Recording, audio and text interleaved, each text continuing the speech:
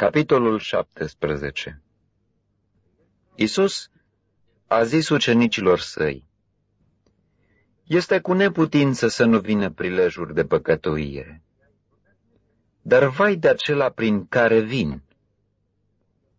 Ar fi mai de folos pentru el să-i se lege o piatră de moară de gât și să fie aruncat în mare, decât să facă pe unul din acești micuți să păcătuiască. Luați seama la voi înșivă. Dacă fratele tău păcătuiește împotriva ta, mustră-l. Și dacă îi pare rău, iartă-l. Și chiar dacă păcătuiește împotriva ta de șapte ori pe zi, și de șapte ori pe zi se întoarce la tine și zice, îmi pare rău, să-l ierți. Apostolii au zis Domnului, mărește necredința. Și Domnul a zis, dacă ați avea credință cât un grăunte de muștar, ați zice dudului acestuia, dezrădăcinează-te și sădește-te în mare, și va asculta. Cine dintre voi, dacă are un rob care ară sau paște oile, îi va zice când vine de la câmp, Vino îndată și șez la masă. Nu-i va zice mai degrabă, gătește-mi să mănânc, încinge-te și slujește-mi până voi mânca și voi bea eu. După aceea vei mânca și vei bea și tu. Va rămâne el îndatorat față de robul acela pentru că robul a făcut ce-i fusese poruncit? Nu cred. Tot așa și voi.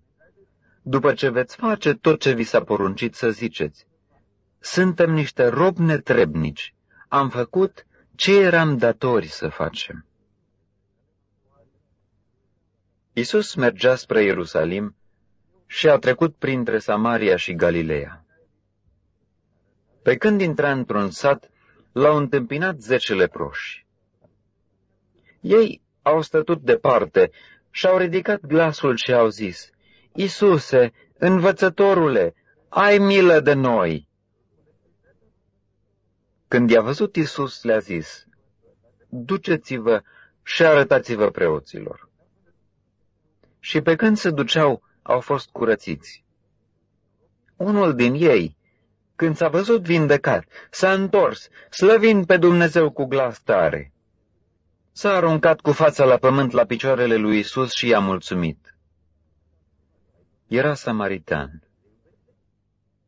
Isus a luat cuvântul și a zis, Oare n-au fost curățiți toți cei zece?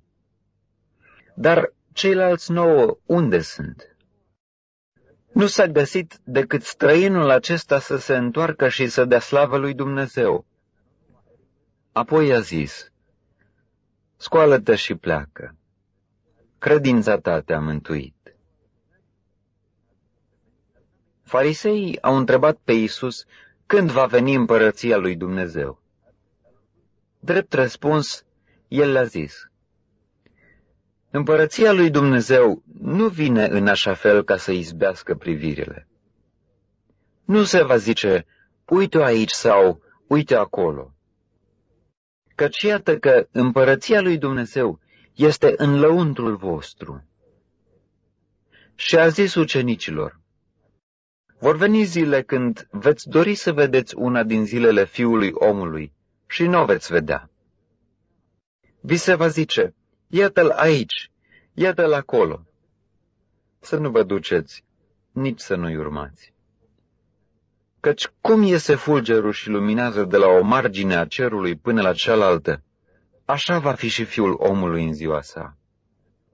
Dar mai întâi trebuie să sufere multe și să fie lepădat de neamul acesta. Ce s-a întâmplat în zilele lui Noe se va întâmpla la fel și în zilele fiului omului. Mâncau, beau, se însurau și se măritau până în ziua când a intrat Noie în corabie. Și a venit potopul și i-a prăpădit pe toți.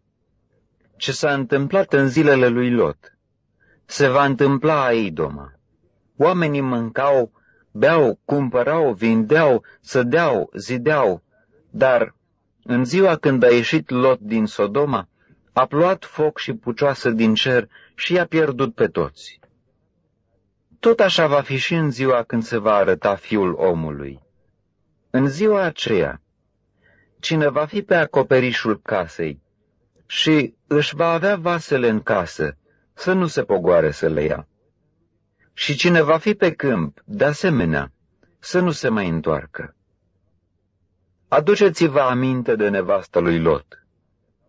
Oricine va căuta să-și cape viața o va pierde, și oricine o va pierde, o va găsi. Vă spun că în noaptea aceea, doi inși vor fi în același pat.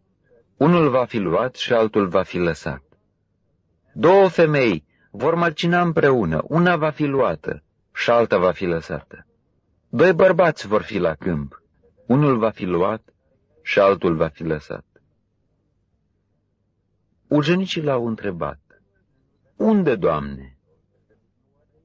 Iar el a răspuns, Unde va fi trupul, acolo se vor strânge vulturii.